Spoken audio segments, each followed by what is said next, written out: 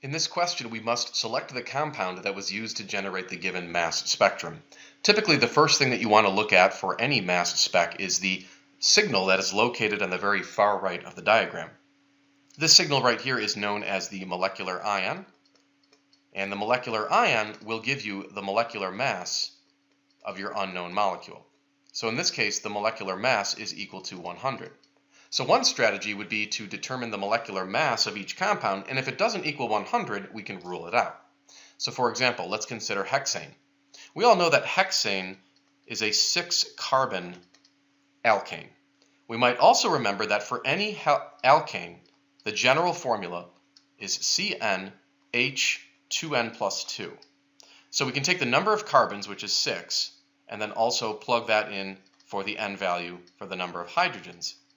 And when we simplify this, we can see that the formula becomes C6H14. Now let's add up the mass of all those atoms. So we take the 6 carbons and multiply by 12 atomic mass units for each carbon, and then add the 14 hydrogens multiplied by 1 atomic mass unit for each hydrogen, and we get a mass of 86 atomic mass units. This, of course, does not equal 100, and therefore hexane can be ruled out. We can next perhaps take a look at 2-methyl-heptane. Let's clear out the workspace here a little bit. And we've got to figure out how many carbons are in 2-methyl-heptane. We could draw it out. Perhaps heptane has seven carbons, so 2, 3, 4, 5, 6, 7, and then at carbon 2 we have an extra methyl group. So in fact there are eight carbons, so the formula would become C8H2 times 8 plus 2. This is C8 and then H18. Let's tally up the mass. We'll take the 8 carbons and multiply it by 12 take the 18 hydrogens, multiply that by 1, and when you simplify this, you get a molecular mass of 114 atomic mass units, which of course is not equal to 100. So this can be ruled out as well. Now, we can perform similar exercises for heptane and 2,4-dimethylpentane, and if we were to do so, we would see that each of their masses is 100 atomic mass units. You can verify that for yourself. And so we have to find another way of distinguishing between those two choices.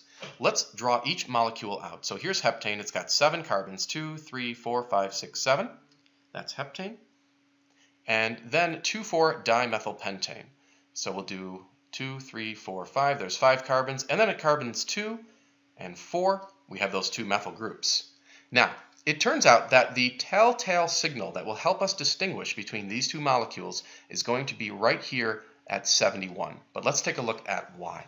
So what we'll do is we'll fragment each molecule at a specific location, and we'll see if we can generate a fragment whose mass is 71 atomic mass units. So, for example, consider the bond that we can color in red right here. What happens is when a bond fragments in the mass spectrum machine, if you want to call it that, Basically what happens is that one of the carbons will end up with a positive charge and the other carbon will end up as a radical. And so what you want to do is just split that bond right there. It's a little bit of trial and error. And what we're going to do is understand that only the positively charged fragment will be detected by the mass spectrum. The other radical, neutral fragment will not be detected. So next what we'll do is try to figure out the mass of this. Now we all know that there were three hydrogens at this carbon, two hydrogens right here, two there, two there, and then there were also two hydrogens here. Now, we'll add up the masses, so let's count this carefully. We have one, two, three, four, five carbons. So 5 multiplied by 12 for the carbons. And then add up the number of hydrogens. So 1, 2, 3, 4, 5, 6, 7, 8, 9, 10, 11. So 60 plus 11, of course, is 71. So there is a way to fragment heptane to generate a fragment whose mass is 71 atomic mass units. So this is looking very good for heptane as being the correct answer. But let's consider 2,4-dimethylpentane.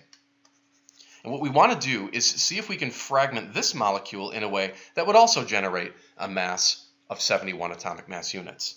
But it's going to turn out that that won't be possible. We can try a couple of fragments just to make sure. So for example, this bond right here, let's go ahead and fragment it. We'll break it.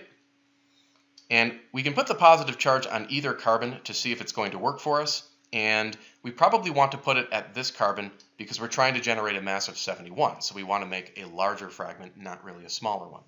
which means that this carbon would get just the lone electron. Then what we do is put in the hydrogens. So one, two, three. There was one right there. Should be three there. And then there should be two there. So in this case, we have one, two, three, four carbons. So 4 times 12. And then we're going to add the hydrogens. 1, 2, 3, 4, 5, 6, 7, 8, 9. Now if we add this up, we get 57. Now of course that does appear on the mass spec, but it's not the 71 that we're looking for. So this is not going to be the correct way to fragment this molecule. So, so far we're not able to fragment this molecule in a way that generates an atomic mass of 71 units, or molecular mass, I should say. So we can try again. Whoops. So not at that bond right there. Maybe we would want to cleave this bond. We can give it a try. So we'll cut that bond. Now be careful here. This little carbon, and then there's a carbon here. This carbon right here is going to basically, once you break the bond, it's going to sort of break off onto its own. And again, we'll put the positive charge on the heavier fragment just because we're trying to generate that 71 molecular mass. This one would become a radical. It's not detected anyways. So let's take a look at this fragment. We'll count up the carbons. There's 1, 2, 3, 4, 5, 6. So 6 times 12. Now wait a minute. Even if we add the number of hydrogens, we can see this is already wrong because 6 times 12 is 72. So this is going to be much greater than 71. It's not going to work. We're not going to be able to generate that massive 71. And so you can try a little more on your own if you'd like to, but there is just no way to kind of break a bond on the 2,4-dimethyl in order to generate a mass of 71. So it is not looking good for 2,4-dimethyl pentane. We can eliminate it with great confidence, and therefore the correct answer to this question will be heptane.